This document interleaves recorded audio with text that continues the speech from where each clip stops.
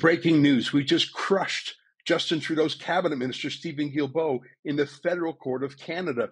And in doing so, Rebel News has struck a blow for freedom of speech and freedom of the press for everyone. Go to twitterlawsuit.ca to see the court order signed today by Justice Russel Zinn. Here's some background.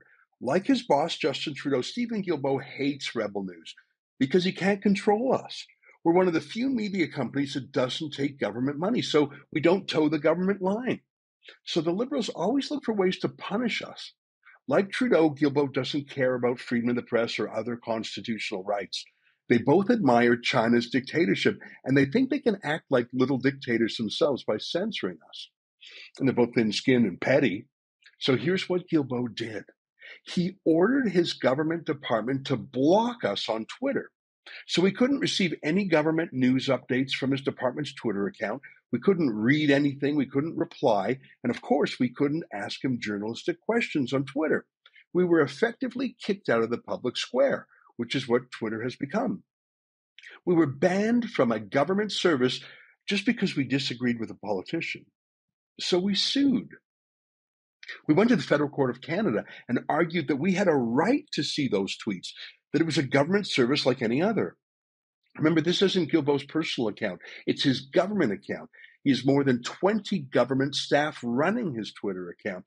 It might sound like a small thing, but if Guilbeault can cut us off from receiving news and other information from the government, what else can he cut off? We've already seen Trudeau ban companies who don't agree with them from receiving summer jobs grants. What's next? Guilbeault fought us for more than two years.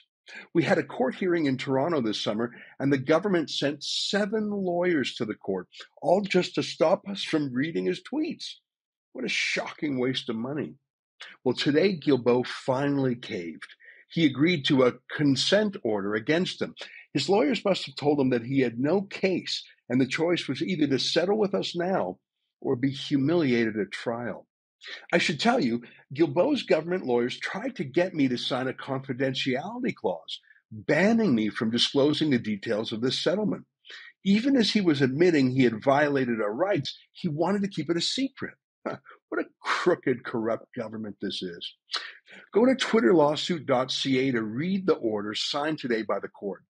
Guilbeault has been ordered by the court to unblock me and to never ban me again as long as he's an MP. It's glorious to see.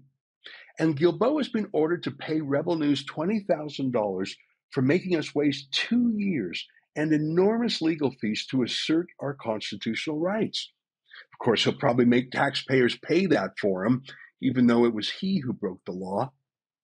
$20,000 sounds like a lot of money, and it is. But unfortunately, it's just a fraction of what we had to spend to finally get this little thug to back down. I can only imagine how much it costs taxpayers for Guilbeault to have seven government lawyers defending him. He'll probably try to keep that amount secret too. Now, in some ways, today's victory is a small thing. But having the federal court smack down government censorship is never a small thing. And it sets a precedent for all other bullies in Trudeau's government, reminding them that they cannot use public resources to carry out a vendetta against their political critics. This is a win for all journalists because the precedent will apply to politicians of every political party. We've made Canada freer for everyone. That's something that the official civil liberties groups used to do, but we were in court alone, not a peep from the Canadian Civil Liberties Association or Canadian Journalists for Free Expression or the Canadian Association of Journalists or any of them.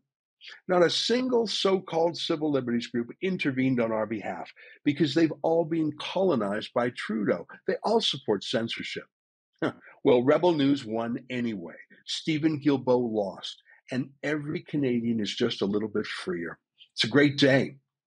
I'm glad that the court ordered Guilbeault to pay us $20,000 in costs, but in reality, we spent over $95,000 if you believe this is an important victory, please help us pay our legal bill by going to twitterlawsuit.ca.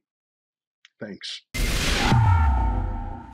You know, I'm savoring this victory today over that sanctimonious creep, Steven Guilbeault. But unfortunately, Rebel News is under attack by other government censors too. That's the thing about the left. They're relentless and they hate the idea of an independent news organization that doesn't obey them. If you can help us stay strong, please go to twitterlawsuit.ca and I promise I'll keep fighting for freedom.